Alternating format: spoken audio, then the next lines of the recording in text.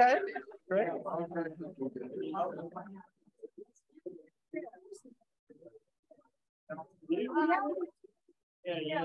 Go, good. I'm glad that worked out. Yeah, okay. Um, welcome, everyone. Good evening. I'm sorry to interrupt your conversations, but it's great to have a full room tonight. I'm Sarah Gardner, and this talk is sponsored by the Center for Environmental Studies and the Class of 1960 Scholars Program in Environmental Studies. Um, and we're so pleased tonight to have John Cavanagh and Robin Broad, class of 76 um, many of her old professor, or sorry, former um, to cheer her on. And we really welcome you. It's great to have you all here tonight. Um, earlier, they led a seminar discussion with several um, scholars in the Environmental Center, which went wonderfully. Um, and then we had dinner and the room probably smells like pizza.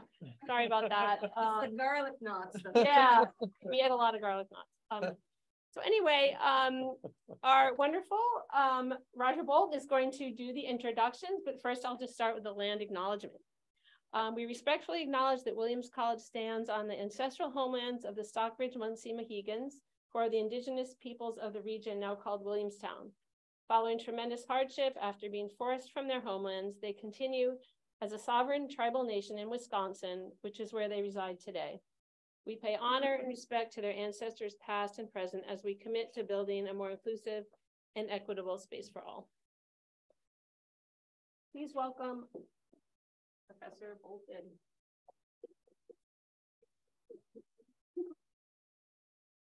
Careful of the cord. Oh, thank you very much. I am really honored to introduce Robin Broad and John Cavanagh.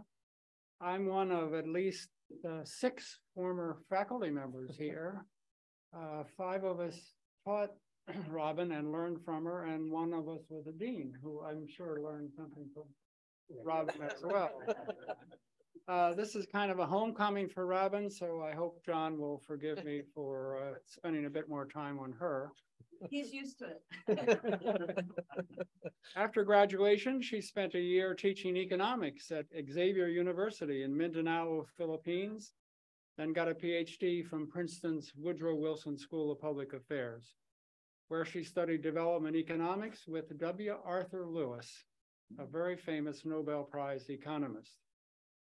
Students may be interest, interested to know she did not go on directly to academia. She worked as an international economist in the US Treasury Department. Then she was senior staff economist for a Democratic congressman who was not yet the household name he later became one Chuck Schumer. Robin joined the faculty of American University in 1990, and she's now professor of international service there. She's won many awards, including a Guggenheim Fellowship and the International Student Studies Association's Tickner Award for, quote, high quality, pioneering scholarship and teaching and mentoring. She's written five books, three with John. Uh, John is a Dartmouth graduate. He met Robin.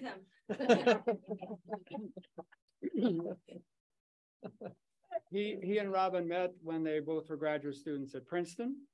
And he has been with the Institute for Policy Studies for nearly 40 years and served as its director for over 20 years. Uh, the IPS is a scholarly think tank in Washington, D.C., and has been a major force in liberal scholarship and activism since the 1960s. I think the first big issue there for it was the was opposing the Vietnam War. John is also a prolific author, and his book with Richard Barnet, Global Dreams, Imperial Corporations and the New World Order, sold over 60,000 copies, which I think is quite an accomplishment for an academic book on, on a subject like that. Now, their latest book, The Water Defenders, tells how people in El Salvador battled to prevent an international gold mining company from poisoning their water.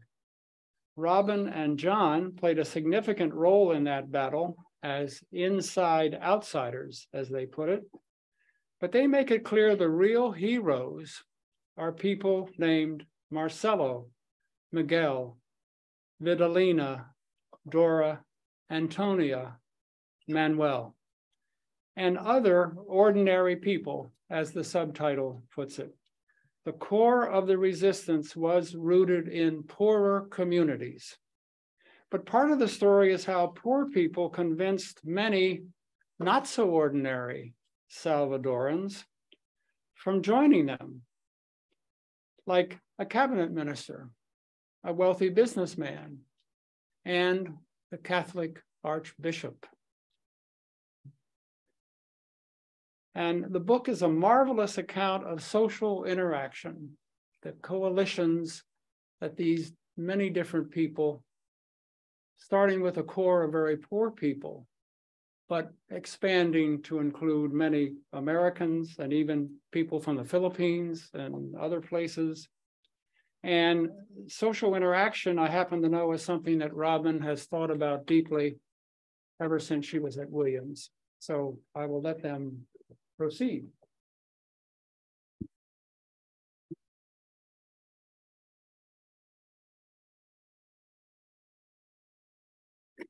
So thank you. Um, and thank you for that. I I'm teaching a class right now in Washington DC. it's just kind of going on by its own itself.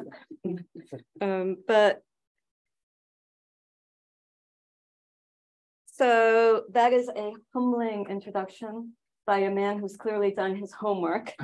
it's also a, a, a little strange to be up here with my okay they're supposed to be former professors but this feels a little like an oral exam. So we'll we'll see. But um it's really wonderful to be back in williamstown after i haven't been here for 45 years um, which is far too many decades and to be here at this historical moment with global climate talks going on in Egypt, and rumor has it there was some kind of an election yesterday that may have an influence with the on the future of not only our country, but the rest of the world. In any case, um, let me rewind and begin with a thank you to the class of 1960 Scholars Program. And Sarah, where, where are you?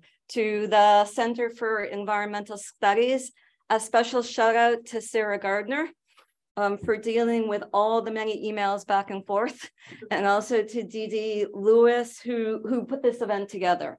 Um, and also to my professors, it's hard to call them by their first names, by their Professor Bill Moomaw, Roger Bolton, Tom Jorling, Ralph, Ralph um, Bradburd, who's hiding over there. Um, my cousin Ellen Bashakin, who's in the back row. Um, I don't, I, um, but, um, oh, and also to Robert Gaudino, who some of you knew, some of you didn't know, but um, a, with memories of him, his spirit always lives within me. Um, and has lived within me on my travels. And um, so to great appreciation to not only those people, but to all of you. And we're honored, we, I am honored by the presence of all of you in this room tonight. Um, we were told that the Bolton rule was that if we got 10 people, we were doing well. So this is pretty, this is pretty nice. So I graduated in 1977 before some of you were born.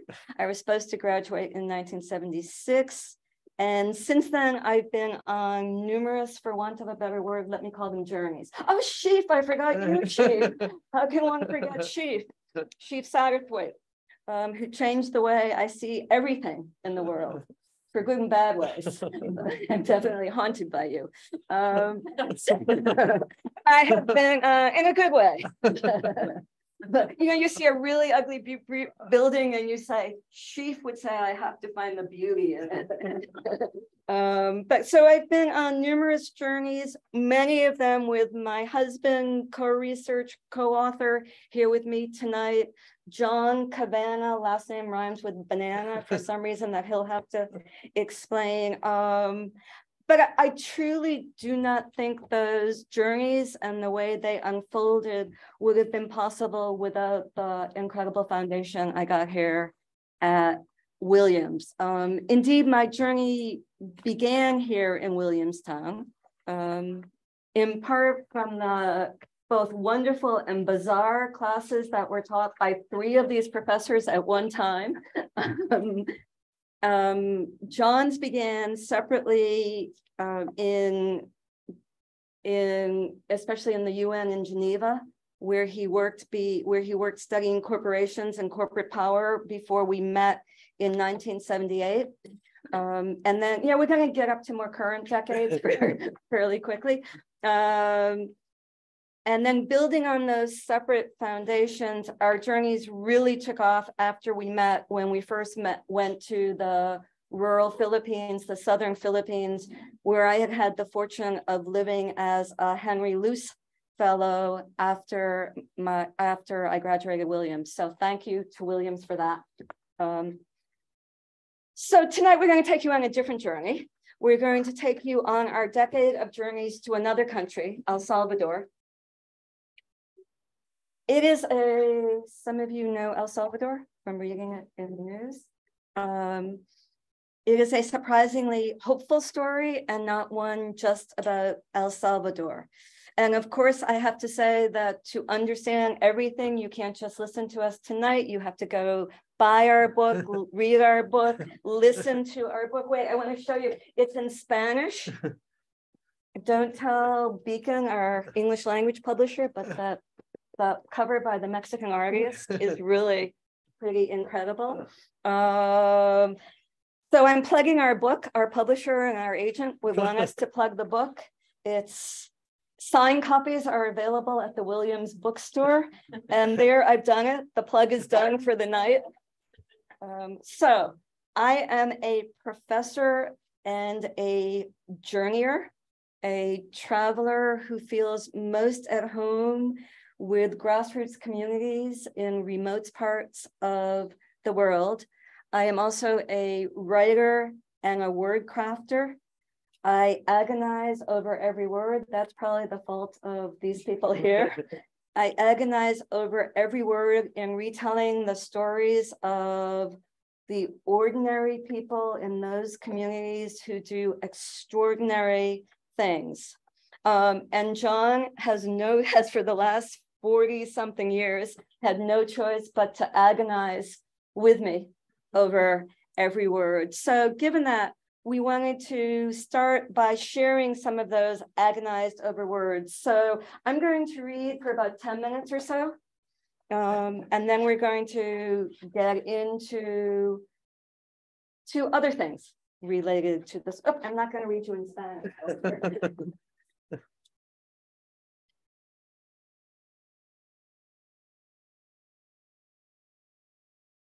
For nearly two weeks, Marcelo Rivera's family could not find him. Then on June 29, 2009, they received the brief phone call they had been dreading. The anonymous caller was brief. There was a body in an old abandoned well just west of the San, of the Rivera hometown of San Isidro Cabañas. The well was near the spot where Marcelo had been last seen 12 days earlier, getting off the bus at a turnoff to the capital city. During those 12 days, Marcelo's family and friends had been at wit's end, searching frantically, desperately for him. They had spread news of his disappearance to all the barrios in San Isidro and nearby towns. They had even called the police for over a week to no avail. The Rivera family filed a formal complaint with the country's attorney general pleading with him to conduct a search and an investigation into Marcelo's disappearance. But another poor person gone missing up in the rural north meant little to the authorities. After the anonymous tip to Marcelo's family, the police finally acted. They pulled the remains of a body out of the dry 30 meter deep well. So extensive was the torture that the body was unrecognizable. The face was grotesquely disfigured, no jaw, no lips, no nose. The fingernails had been ripped off, the testicles bound, the trachea had been broken with a nylon cord. In the assessment of the coroner, the death had been caused by asphyxiation. The public prosecutor disagreed, concluding that the death had come from blows to the head of the hammer. Whatever the cause of death, Marcelo Rivera became the first of several water defenders to be assassinated in the 21st century fight over mining in El Salvador. Although we never met Marcelo, we have been haunted by him and the circumstances of his death ever since. Who killed Marcelo and why? Perhaps you know the difference between a tortilla and a pupusa, or perhaps, like us, you are entering this story without a clue. Perhaps El Salvador is not even on your radar screen. Or perhaps El Salvador is on your radar screen, but only because of gangs or immigrants who trek north. But really, that does not matter. Certainly, on one level, this is a story about El Salvador. At the same time, it is not just about El Salvador. This is a David versus Goliath story about a battle between a country and a foreign mining company. But it is also a story about how global corporations, be they big gold or big pharma or big oil or big tobacco or big banks, move into poorer communities in countries all over the world. Marcelo's story, before and after his murder, is about the struggle for clean and affordable water everywhere.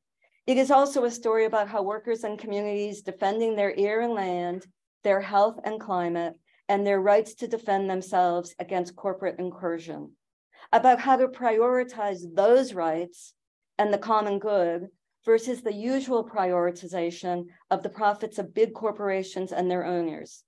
It is certainly a story about gold and when and why we should leave it in the ground, but it could also be about coal or natural gas or other fossil fuels and about whether we measure progress in aggregate financial terms or through the well-being of people and the planet, and about who gets to make the decisions that affect our and other people's lives.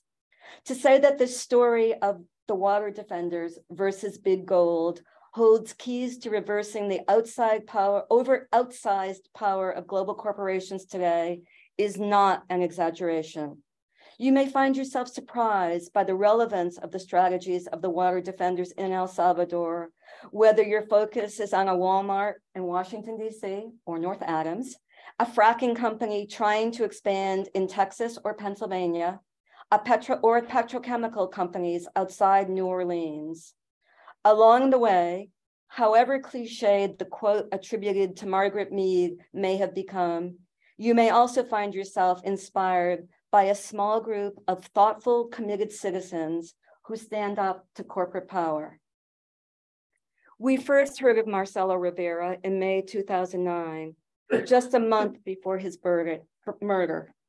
He was a 37 year old teacher who directed his hometown's cultural center, an avid reader, a person who loved theater and the arts, and a good practical joke. We heard his name because he was the leader of the main coalition of Salvadoran groups opposed to mining, the National Roundtable on Mining in El Salvador, or La Mesa.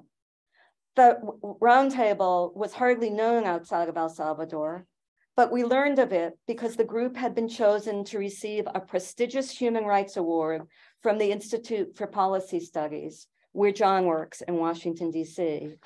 In 2009, the Institute selected the roundtable to honor its opposition to mining companies eager to exploit the gold deposits near El Salvador's major river. On a misty night in October 2009, just months after Marcelo's body was pulled from that well, hundreds gathered at the National Press Club in downtown DC to meet and applaud the Salvadoran water defenders.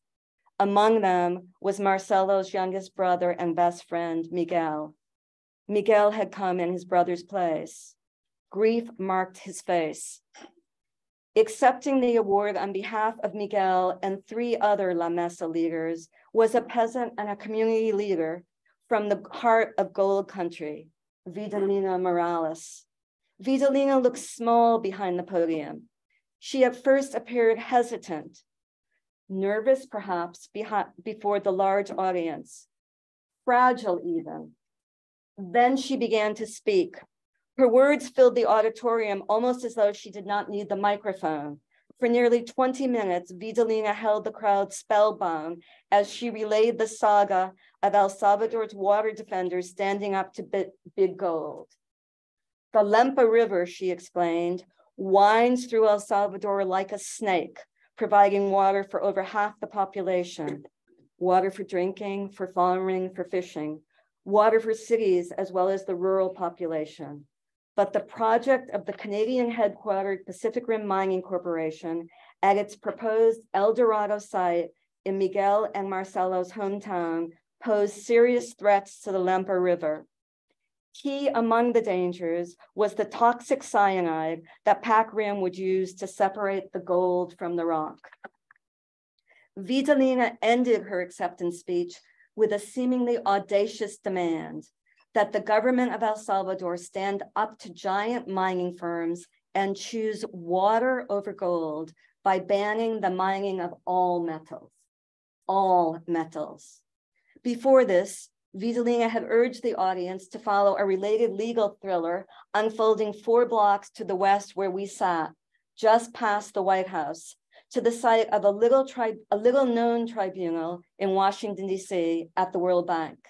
There, as Vidalina explained, Pac Rim had filed a lawsuit against the government of El Salvador right before Marcelo's death. Pac Rim claimed that El Salvador had to either allow it to mine or to pay the company 300, over $300 million in costs and foregone profits from future mining. Vidalina invoked the upside down world summoned by Uruguayan writer Eduardo Galeano in asking why it was not El Salvador suing Pac Rim, since the mining company threatened the water and well being of the country. But that upside down world is the reality of global corporate power and economic rules that affect people around the globe.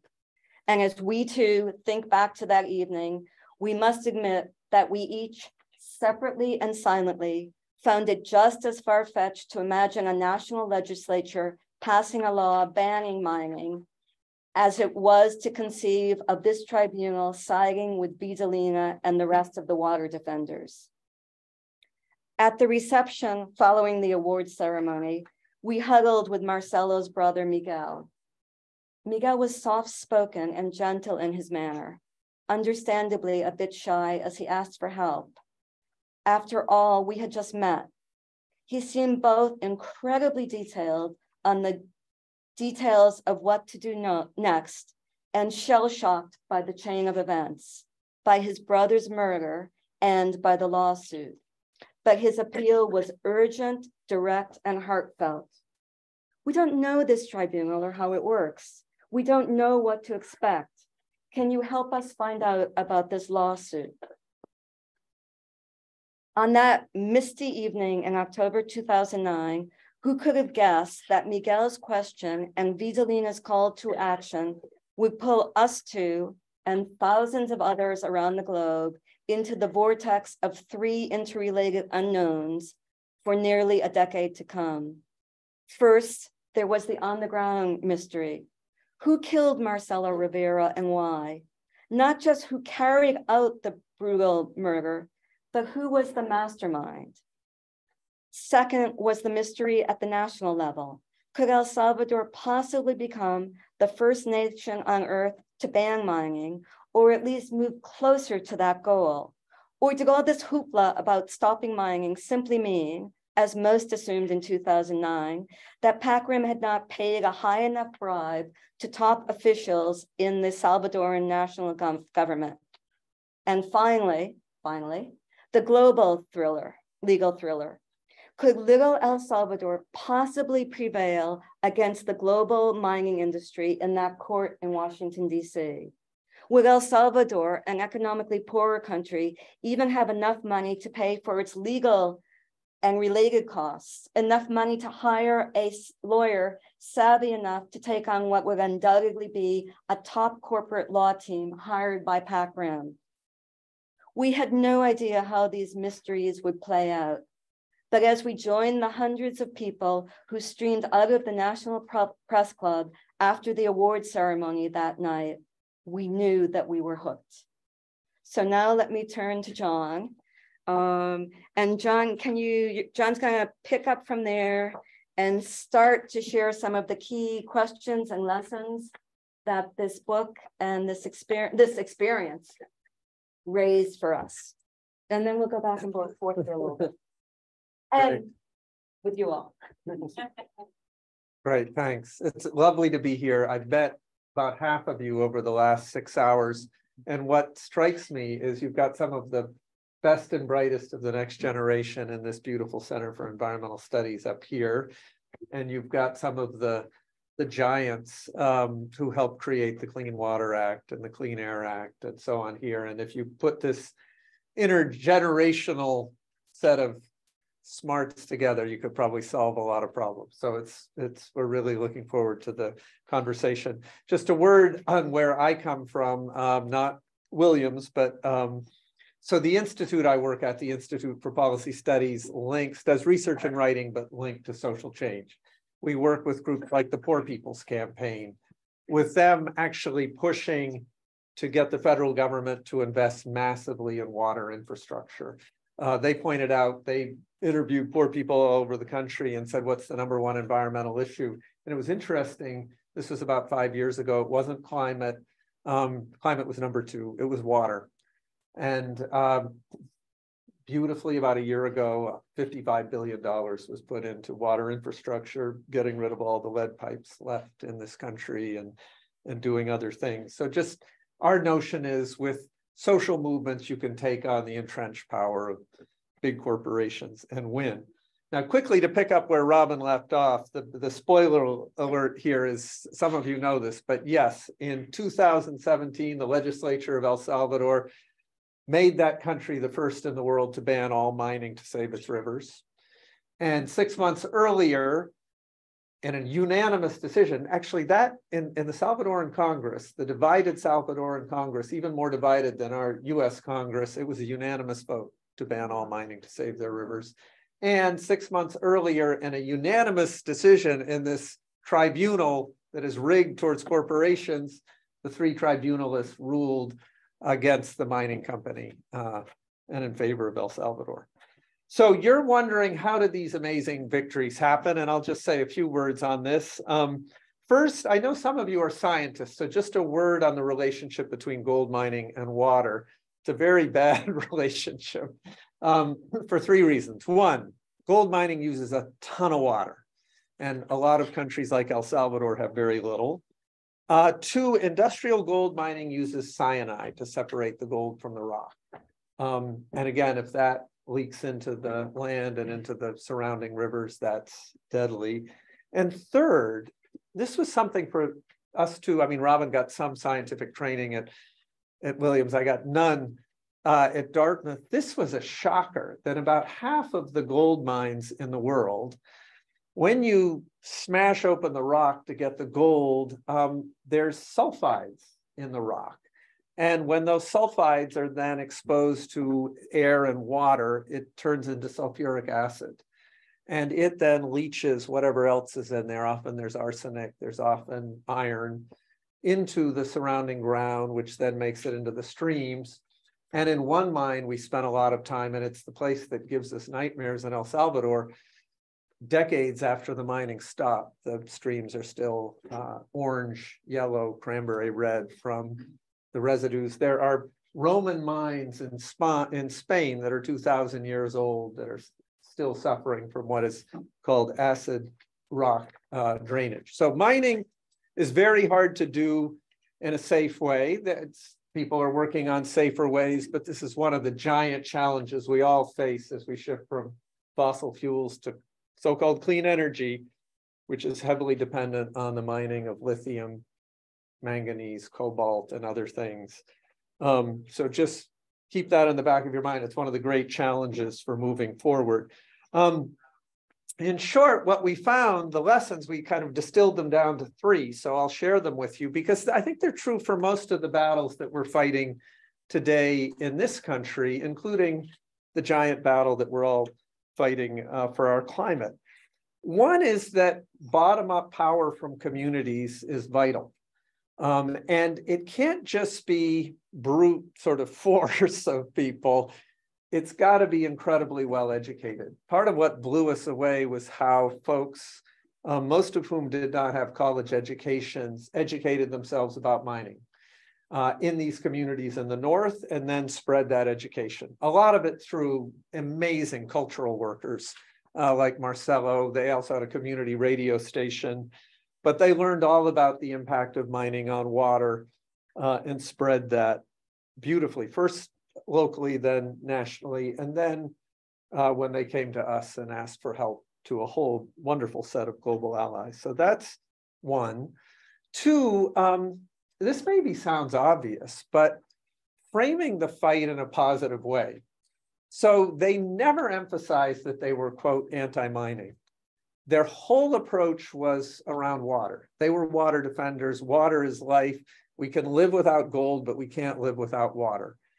And that proved to be an incredibly powerful, unifying message, which brings to the third and final point here in terms of uh, how you do this work, which is, well, particularly, so this is true in the United States. If you're sitting there in El Salvador at this time, you had three major parties, uh, one of them more progressive, two more conservative. The Progressive Party had at best a third of the legislature. So you weren't going to win with just that. And even that party was being wooed by left parties around Latin America that said mine uh, and use the proceeds to address poverty. That was the approach at that time in Venezuela under Hugo Chavez and Bolivia under Evo Morales. So even the Progressive Party wasn't there with you. So how do you win? And it was wonderful to sit with these folks because they they said, okay, we've got to build as many allies as we can, both likely allies and unlikely allies. And the likely allies were uh, the uh, environmental groups, women's groups, um, youth groups, and their international components. So, so to us, they said, can you get us, you know, we got them Friends of the Earth and Greenpeace and so on. And the we got progressive faith groups and so on, also globally, uh, to put pressure on the company. So get the likely allies, but then go after the unlikely ones. And it's interesting in El Salvador at this time, many of you remember, I mean, if you ask most Americans, one Salvadoran, they remember uh, Archbishop Oscar Romero, who then who became recently a saint uh, in the Catholic Church. Um, one would have expected the Catholic Church to be allies, but after he was assassinated um, in the Civil War in El Salvador, the Vatican got smart and started appointing a series of very conservative archbishops. So the archbishop at this moment was an Opus Dei guy.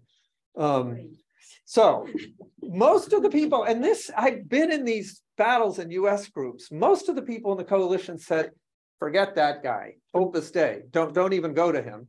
And some of the more creative ones pointed out the obvious. If we don't, if we get him, we've got the Catholic Church, we've got priests all over the country giving homilies. So they they worked on this guy. They tried to get a meeting. They were sort of blown off for a long time. Finally, they got a meeting. And it was so interesting to hear about this. They get into the Archbishop's uh, little office, which we've been in, and they start talking to him. And I don't know if you've ever been in a meeting where you're getting nowhere. I mean, you usually can feel it when you're getting nowhere. They were getting nowhere.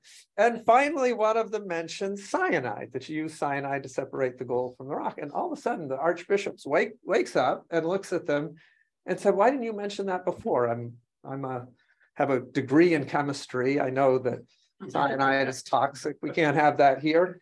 And he shifted the Catholic Church onto the side of the water defenders. Uh, and, and they got the second one too by, in a sense, sort of buttering them up in a nice way. They put them at the front of a march. I mean, very clever things. They they knew they had to win somebody over in the right wing party. So this right wing party would be more divisive than Democrats and Republicans. The right wing party had been the party of death squads during the Civil War. So again, you're saying to people, reach out to this guy. And it turns out that the leader of the Environment Commission from the right wing party was a young guy who'd gone to Georgetown, um, learned in the US about this big mining spill that some of you will remember in Colorado when the EPA was poking around in Colorado in a mine, an old mine, 100 years old, in this bright yellow liquid came flying out of this mine into the river that went into the next river that went through southern Colorado, through New Mexico, shooting up to Utah, contaminating the land for, this was a big story in maybe 2014, 15. He'd seen that, he found out one of his ancestors was an environmentalist. He went to a forum of the water defenders, he learned about mining, and he said, we can't have this. Water is life. Really interesting guy named Johnny Wright Sol.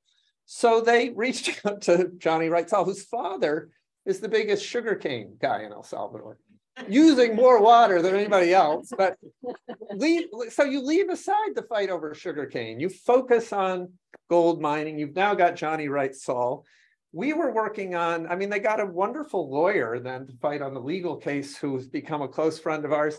He went to West Point, was on the wrong side of the Civil War, but then saw things happen in the war that woke him up, Luis Parada.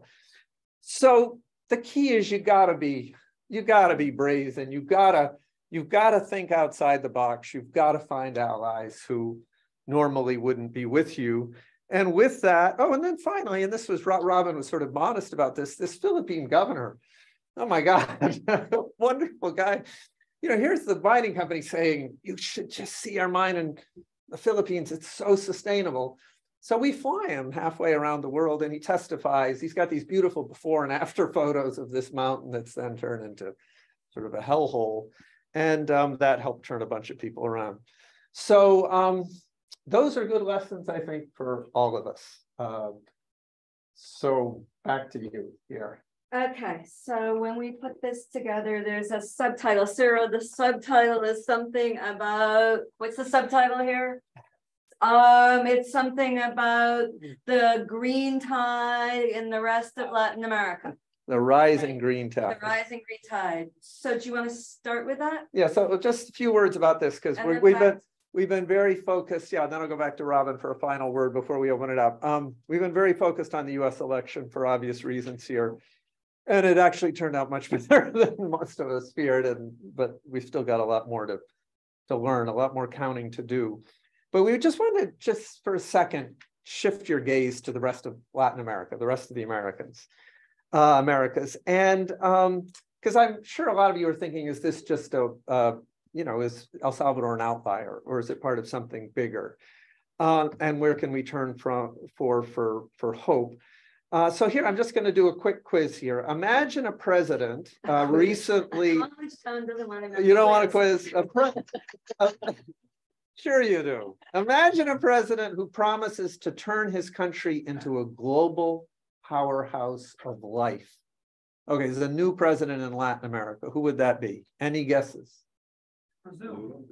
Brazil's close, but it's not not uh, not Uruguay, not Chile. Uh, you're, you're, you're, these are all good answers. These are these are all.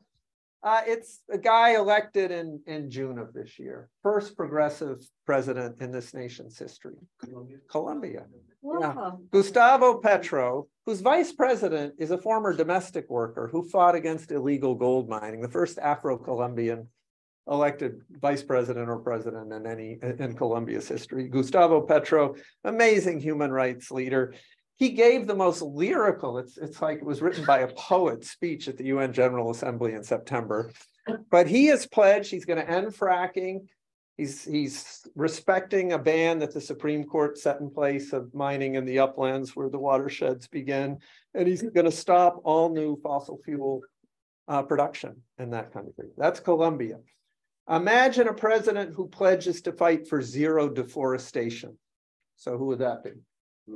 That's Lula in Brazil, and that's the right country to do that because that's the lungs of the world. That's he's got most of the Amazon is in Brazil. It's also Colombia, Peru, and Ecuador, and so on. So that's number two. He was elected um, nine days ago as the president of Brazil.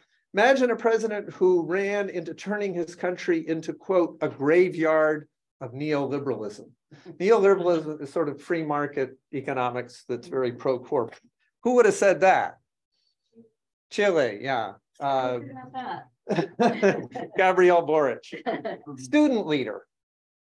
I will say as an aside that my institute gave not only a human rights award to the water defenders, but to each of those three people a long time ago. So we pick uh, presidents, uh, hopeful presidents of the future. So that's that's Chile. Um, in Honduras, which a year ago you would have said was a narco sort of mafia state. In Honduras, these are all, those three were elected in the last year. Honduras also in the last year. Um, a woman, Xiomara Castro, won in a landslide by linking up with the number three candidate, who was kind of a jerk. So they were going against the narco fascist. And the, the, the number two and number three parties come together, form an alliance. I mean, unfortunately, he's her vice president. This, but you know, he's but he wasn't. You know, he's an okay guy. He's just conservative. Anyway, she wins and immediately announces a ban on all new open pit mining in Honduras. So, and part of what is so stunning about this is that 20 years ago, there was a big debate in Latin America over the future, but the debate was between free market people who wanted to mine and pull all the oil and gas out of the ground and use it to enrich themselves versus a set of socialist governments who wanted to mine the land to death, but to use it for, you know, some of the proceeds for social programs. That was the debate. So there is now a new wave that is rooted around environment, around indigenous people, around women's rights that has emerged. And not just, I mean, I mentioned the countries that those four countries now have presidents with that kind of platform. And many others, what we're, we're going tomorrow to Amherst, where one of Robin's friends, Manuela Picq, um, is the partner of a indigenous leader in Ecuador who ran for president last year and got 20% of the vote in the first round. Um, and was sort of the second. Uh, Latin America is cool in this respect. We should learn from this. Their elections are two rounds. So everybody runs, 16 candidates in Peru in the first round. Then the top two go to a second round. And that's it's it that's what has given you the possibility of people with great vision to emerge in that first round. Then they have to build a coalition to win the second round. So that is one thing. This is a great tension in our country and in those countries. Then when you got elected, or Lula, you know, you have four weeks to make a coalition, sort of a grand coalition with centrist parties to win. And that does limit some of what you can do as you govern. So just to put a little bit of a reality check on it, and social movements always get ticked off about that, uh, just as of course they do here. But here actually Joe Biden had to listen to social movements to win over Bernie and Warren voters to get elected. And he actually ran on a pretty progressive platform in the end. And he governed on it for his first year, at least year and a half. So um, there are social movements in the book. We talk about social movements. Some of you, I know, some of the students have been to Costa Rica. Costa Rica's banned almost all mining in that country because it's built a development model around a quarter of its country being protected areas and around ecotourism. Um, there, uh, Robin did this uh, work. There's seven provinces of the 21 in Argentina that have banned mining, mainly around glacial areas, shouldn't mine around glaciers for somewhat obvious reasons, but some other provinces as well. Also very strong movements in Panama uh, and in other countries, obviously in Ecuador, which is actually in the province of this leader, Yaku Perez, has banned mining and around uh, the big city in his province. So I don't want to, I just want to say, wow, think about that for a moment in a world where the media tends to focus on the authoritarian leaders. There's now one in El Salvador, unfortunately, Bukele, but the Philippines, let's not talk about that, you know, uh, Poland and so on. We, we focus on the authoritarian dictators. We don't focus on the fact that um, just below us, there's a whole hemisphere that's rising up with a different vision of what the future could be. So back to you, Robin, and then we can open it up. Okay, so I was, as you can, we can go back and forth for, you know, six hours, eight hours, what, whatever you're willing to do, but, but I'm, so I was gonna talk some more, but I'm watching the time and I think this might be a very good time for us to stop talking and for us to open it up and let, I don't know, Roger, Sarah, Chief, the rest of you, anyone else who wants to talk, um, make comments or questions as you wish, and if no one wants to talk, we'll just go back and forth to dominating the, the conversation, but I actually have no idea what time this ends. Um, you, neither do you, but when, it- Um, it's somewhat up to you, but we can definitely have fifteen minutes of questions and then. well, then this is definitely a time for us to stop talking. Okay. So I don't know who's running this. Do you? We'll want just to open up. John, can you move Sure, down there? sure. Who has a thought here? Okay, that you wants to talk? I start, um, Yeah. I remember that the Archbishop was actually quite inspired by Pope Francis. Right, Of course, Pope Francis is from Latin America. And certainly has a certain very definite image. And I don't know about the power, but I was wondering, how is Pope Francis connected to and partly responsible for this rise of green sure. that you talked about? Yeah, before we say much, are any uh Catholic Pope Pope Francis experts in the audience here? Um, you'll you'll recall when he first became Pope, he came in and he actually turned to some of our friends in the Philippines who'd done an encyclical letter on the environment many, many years ago, brought one of them in um, and wrote this big, beautiful uh, encyclical on our home uh, that not only lays out a beautiful vision of of the importance of taking care of nature and taking care of climate, but also, and this the second archbishop who had not been an activist at all, talked to us about this. He invoked uh, priests to go out in the streets to defend the environment. actually, I was just saying, So, so for this book, so first we worked with communities in El Salvador on the real work.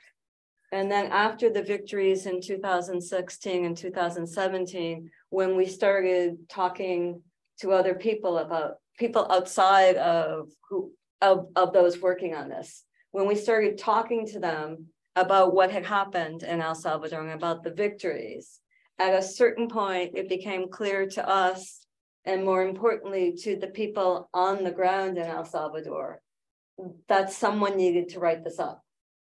That it, it was something that had to go down in history because so few people actually knew about it. And, and in fact, um, at the time when El Salvador banned mining, the New York Times had an editorial about it both congratulating in El Salvador, but in a very, you know, in one of those twisted ways, saying, but don't any other countries get any ideas about banning mining because it's not something that should be done. But in El Salvador's case, it was okay. Um, in, in any case, um, so then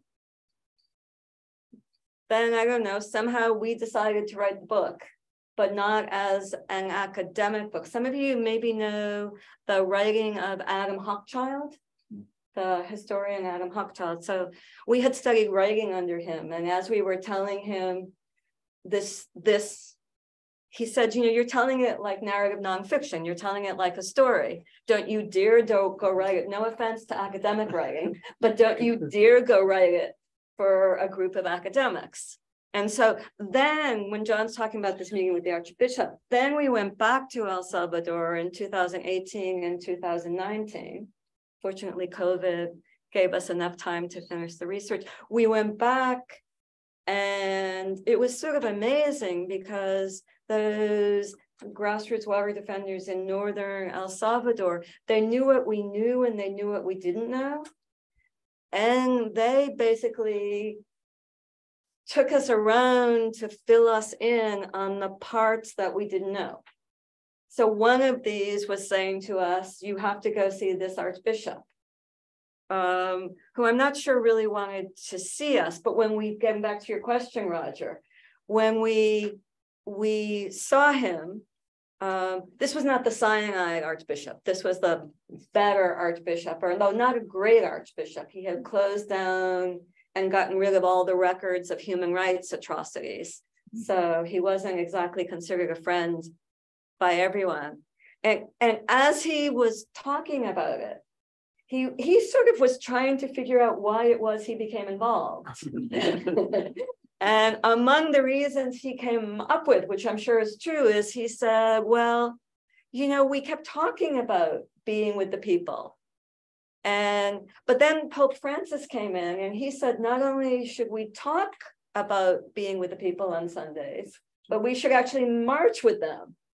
And he said, I don't know it, how, how it happened. So it was a before the legislature passed the the law banning mining. Um, there was a series of months where civil society, the social movements were trying to get the legislature to, to do something, to pass this law. And there was hemming and hawing and whatever. And so the, the social movements decided that they needed a march and that they would march from one part of San Salvador to the Legislative Assembly. But that they, in order to get the parties to meet them at the Legislative Assembly, they needed to have someone in the head of the march who the legislatures, the head of each party couldn't say no to. And that would be the Archbishop. When we talked to the Archbishop, he said, I don't know how it happened, but I just ended up in the front of the march. how it happened was that this was planned. so people were pushing him to the front. So, um, so I mean, not in a bad way, but he was he was also saying they were talking to him about Pope Francis. And he was rereading Pope Francis, and Pope Francis was telling them to march with the people.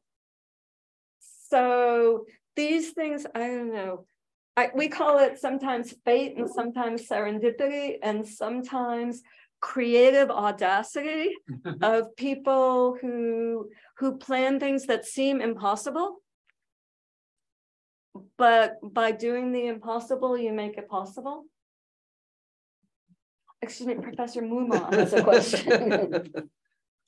Two things that are hard to imagine in this country where we demonize anyone who does not agree with us uh, and say very nasty things about them and so.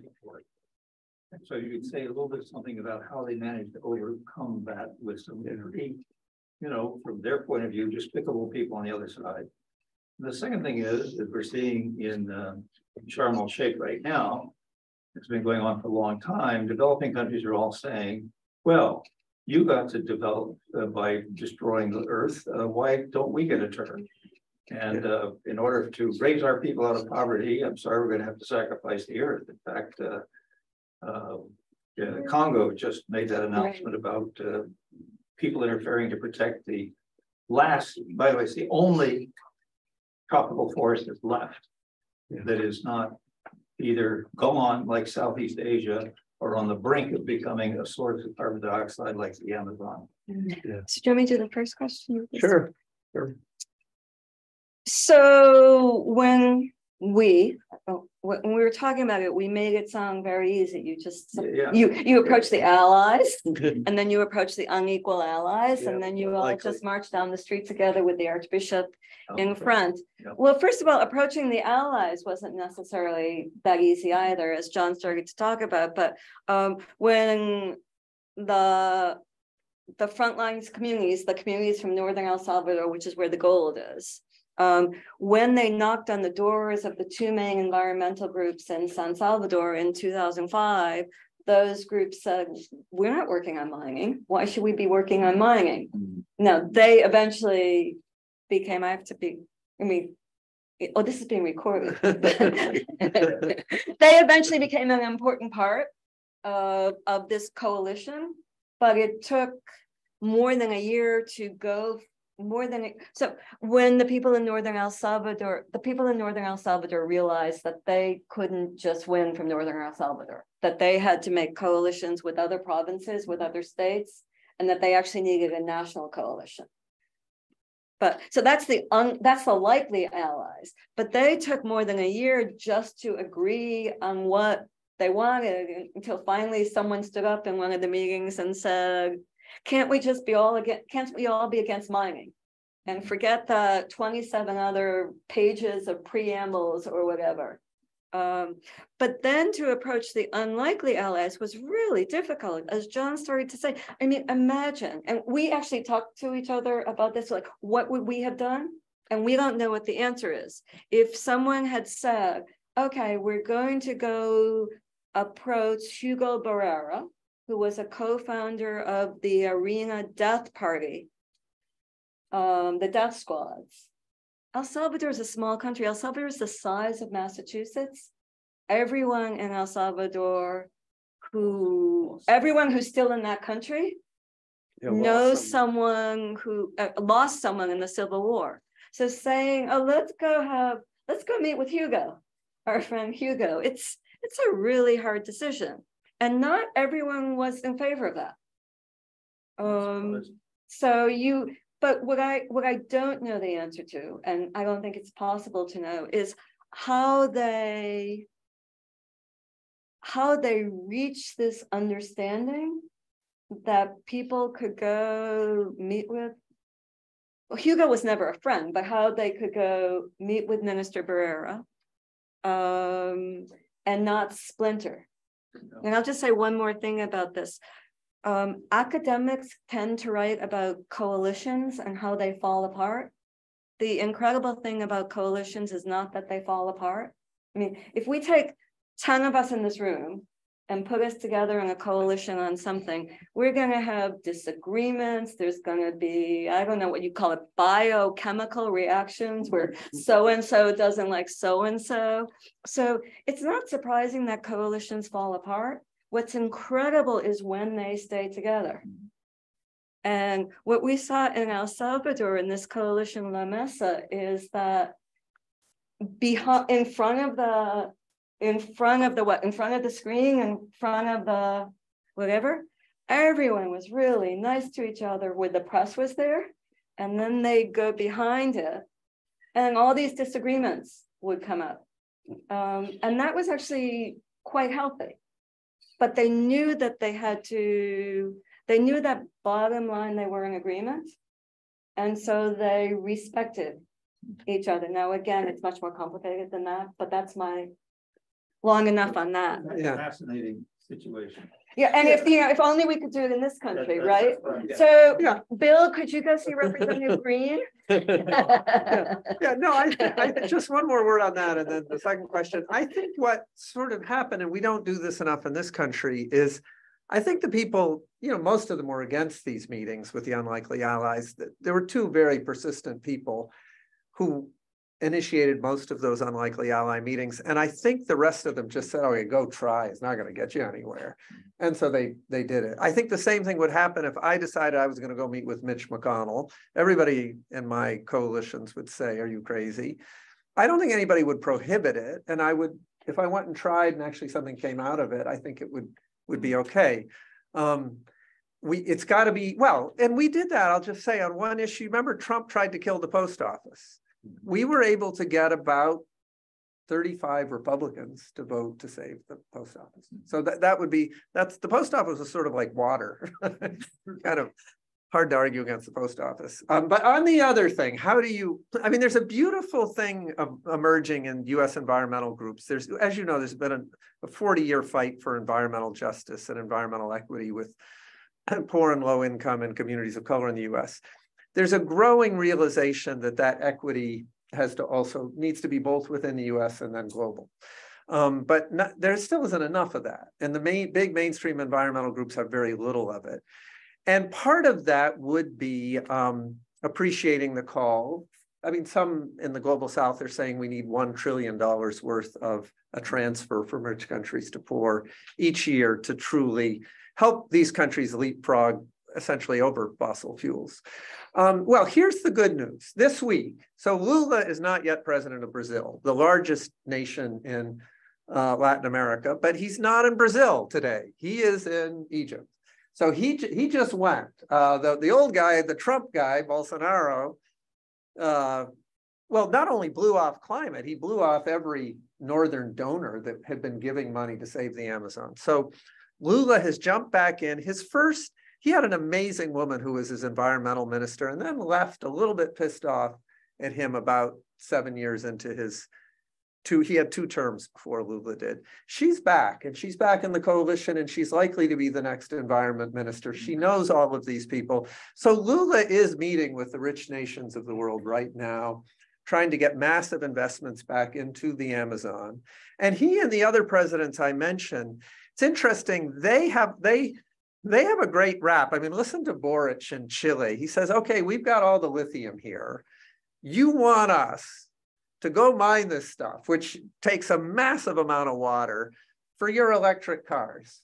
Uh, Okay, let's think about that right there. Uh, let's let's talk about that.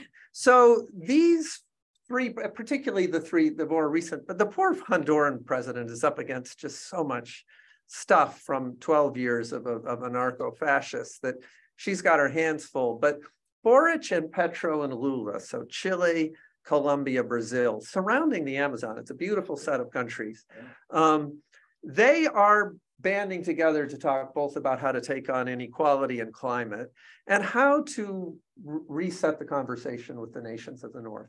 So I think they will play an oversized role in, now they're doing it at the moment when the global economy is in rough shape. So asking people for a trillion dollars, and this is where again the creativity will come in. Okay, well, I mean, just as you in Massachusetts just passed a tax on multimillionaires to pay for some of the stuff you want, um, there's all sorts of things that you can tax, and that I think across the political spectrum, right-wing people hate billionaires who abuse power.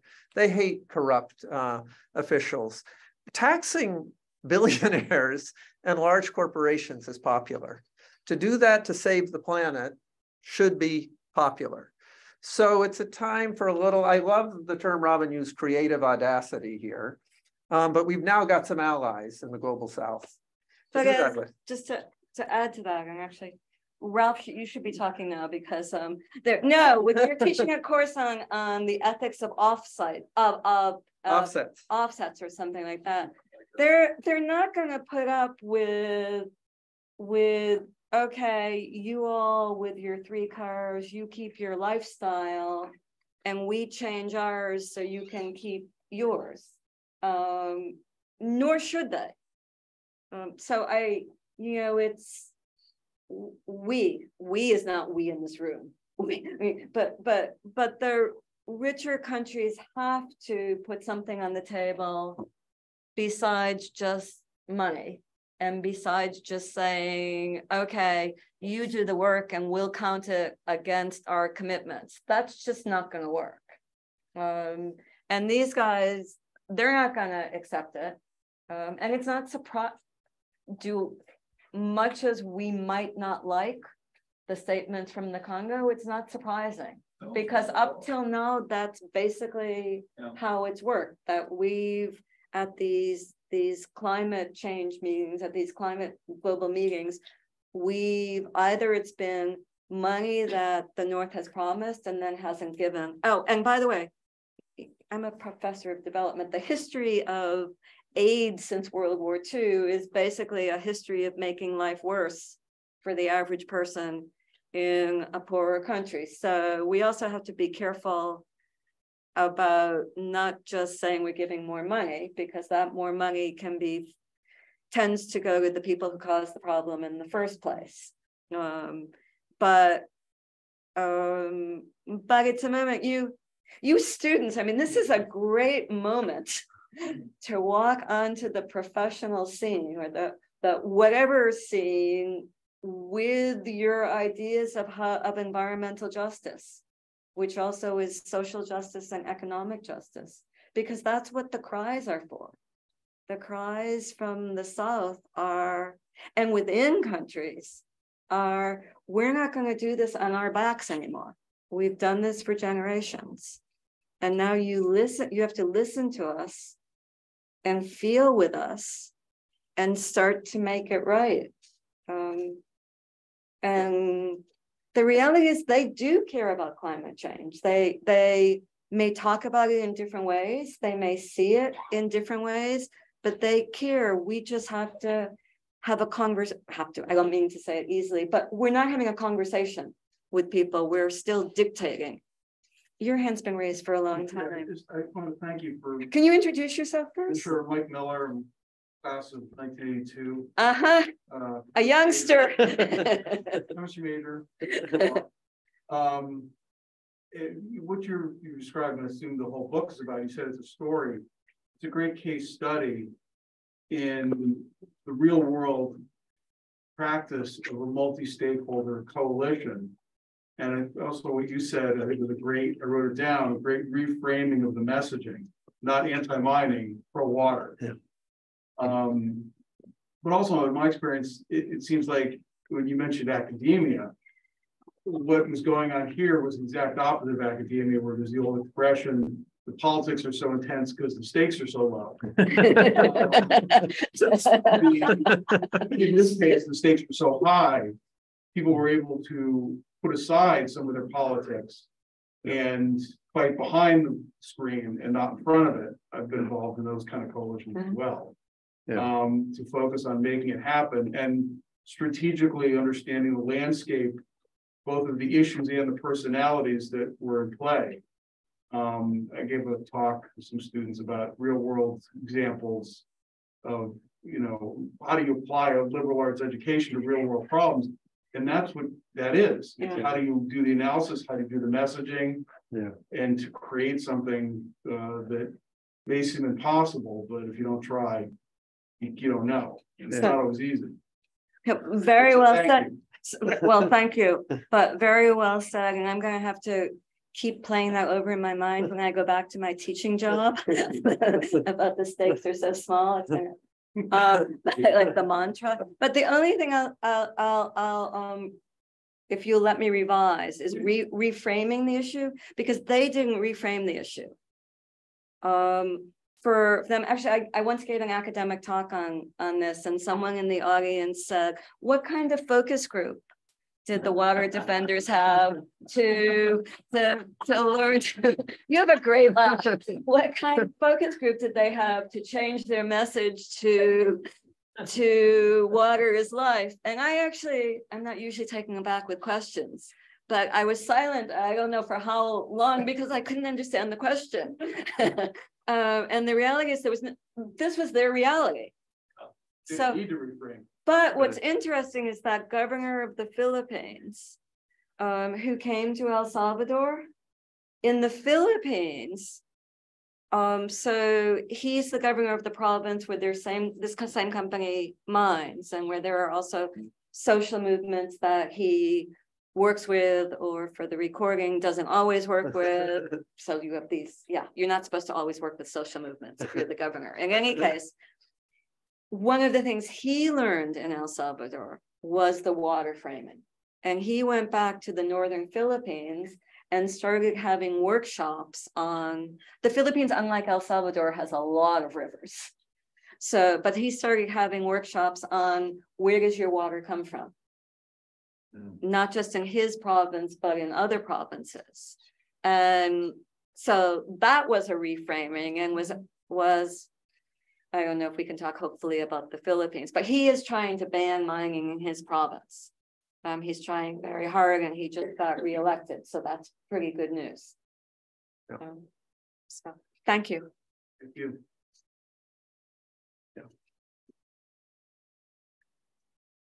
Any others? So do you know El Ecuador?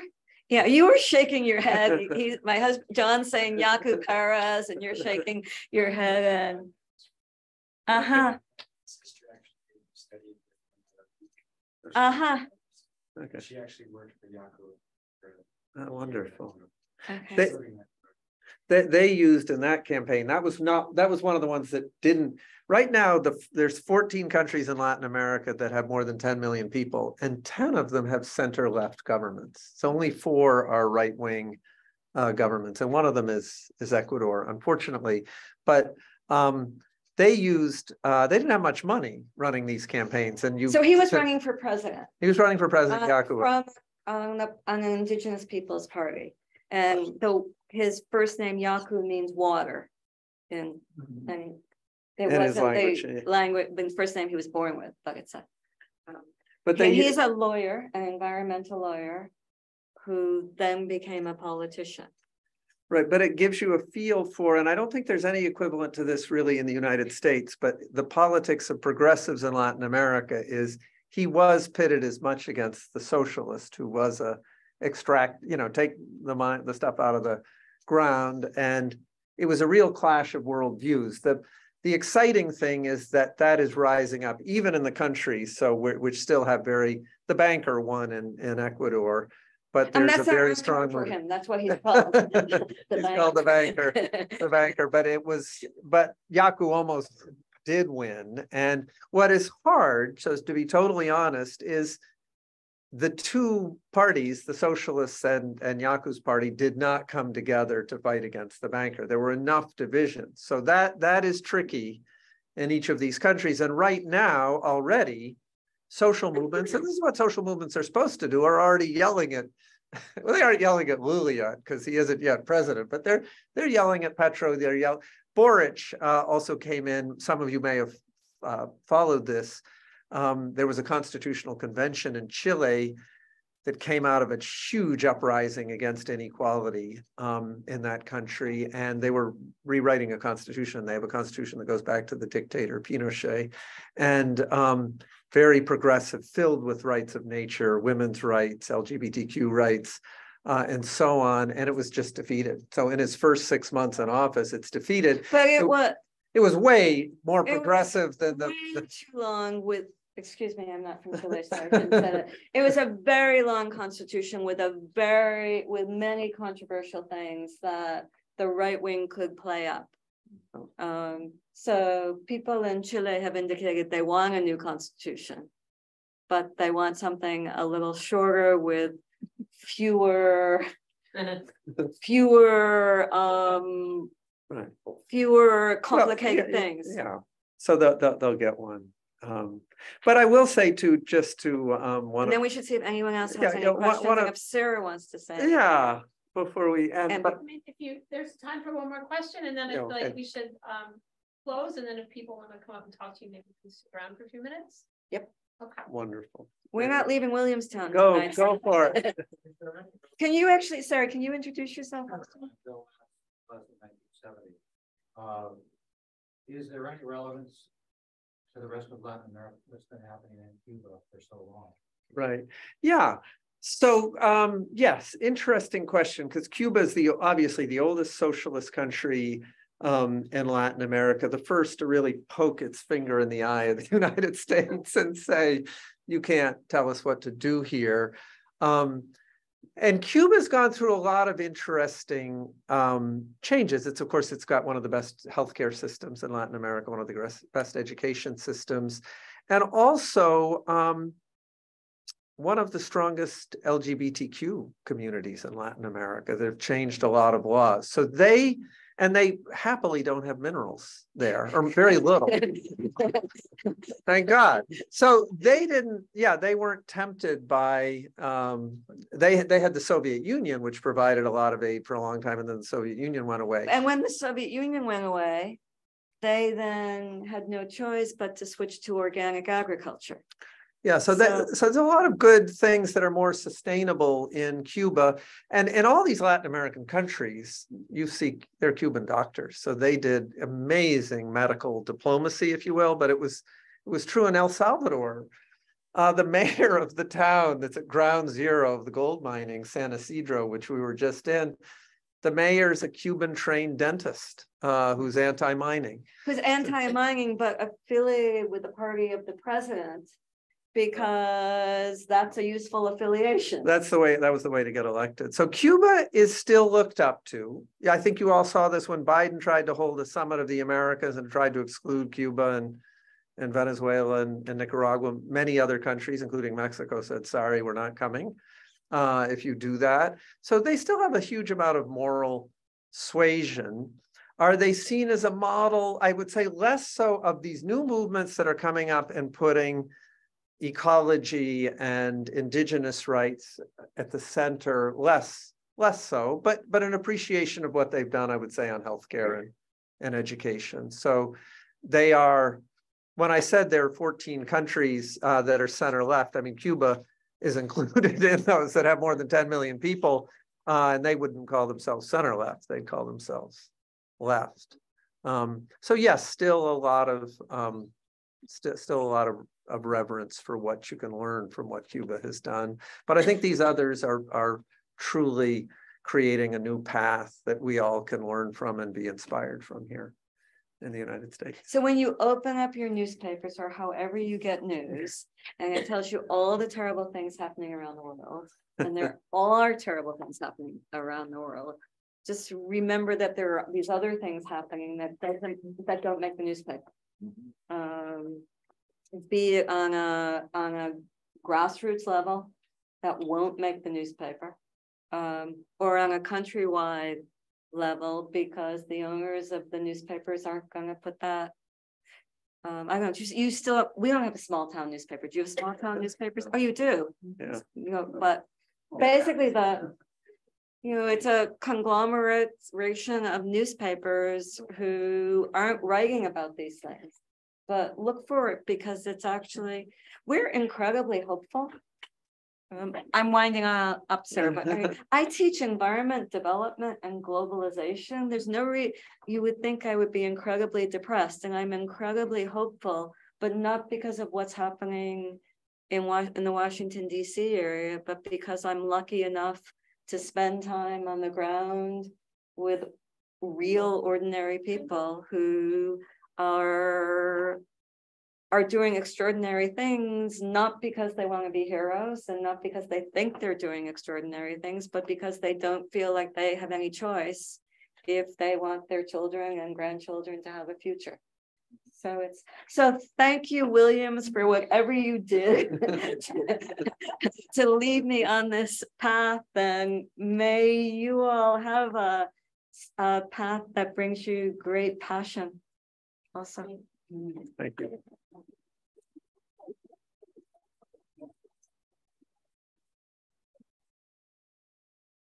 And thank you, Sarah.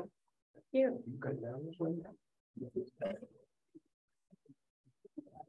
You say hi to Al?